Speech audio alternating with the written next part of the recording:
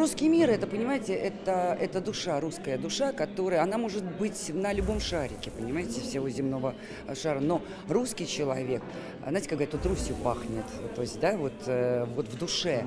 Я, например, очень горда, что я русский человек, понимаете, и даже когда приезжаешь за границу, когда узнают, что мы русские, ну, просто первый это возглас, о, это Путин и русские. Вот э, мы гастролируем много. И русский театр, русских людей очень любят, очень с уважением относятся, интересуются, и хватают, и задают массу вопросов. Так что русский мир всегда был интересен и будет интересен всем.